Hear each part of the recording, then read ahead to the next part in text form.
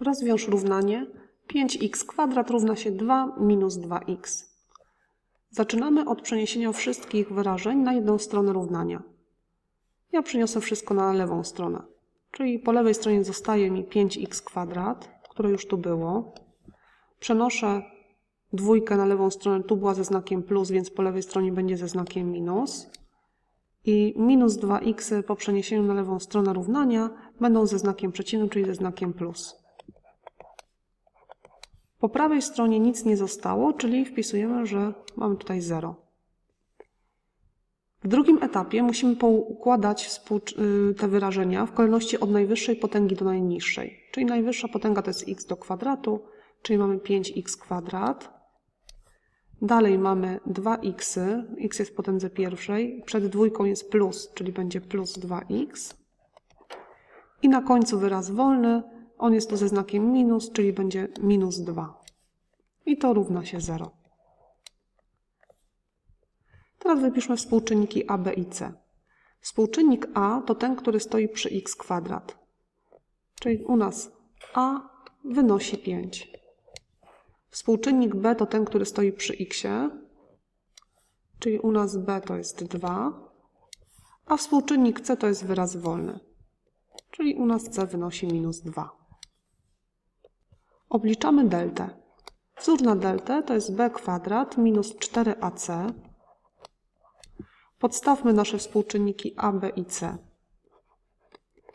Za b wstawiamy dwójkę, czyli mamy 2 do kwadratu, minus 4 razy za a wstawiamy 5 i razy c za c wstawiamy minus 2.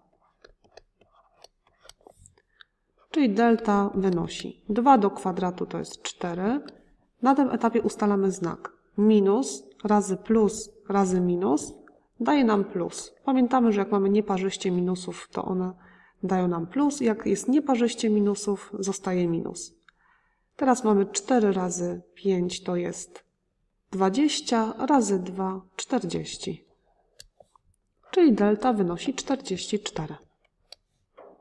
Ponieważ delta wyszła dodatnia, mamy dwa rozwiązania naszego równania. Pierwsze postaci x1 minus b minus pierwiastek z delty przez 2a, a drugie rozwiązanie x2 postaci minus b plus pierwiastek z delty przez 2a. Obliczmy więc pierwiastek z delty. To jest pierwiastek z 44. Możemy rozbić 44 na iloczyn dwóch liczb. 4 i 11. Pierwiastek z 4 to jest 2. Pierwiastka z 11 nie można obliczyć, więc zostaje on pod pierwiastkiem. Wstawiamy dane do naszego wzoru na x1. Mamy minus b. Nasze b to była dwójka, czyli tutaj mamy minus 2. Minus pierwiastek z delty, czyli minus 2 pierwiastki z 11.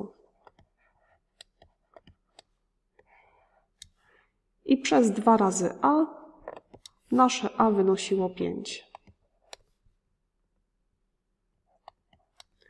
Możemy wyciągnąć dwójkę jako wspólny czynnik przed nawias w liczniku, czyli dostaniemy 2, a w nawiasie. Co razy 2 da nam z powrotem minus 2? Oczywiście minus 1. I co razy 2 da nam minus 2 pierwiastki z 11? Będzie to minus pierwiastek z 11. W mianowniku zostaje nam 2 razy 5, Dwójki możemy skrócić, więc w liczniku zostaje minus 1 minus pierwiastek z 11, a w mianowniku po skróceniu zostaje 5. Obliczmy więc x2.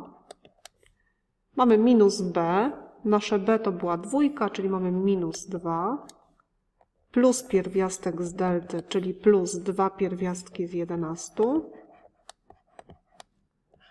przez 2a, czyli przez 2 razy 5. To jest równe.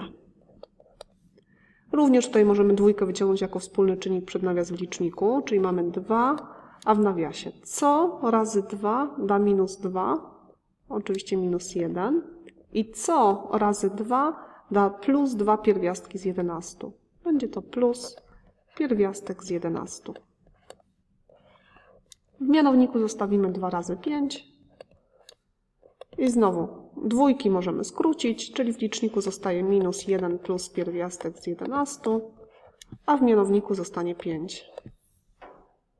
Na koniec podkreślmy tylko rozwiązanie naszego równania, czyli to jest nasze pierwsze rozwiązanie, a to jest drugie rozwiązanie.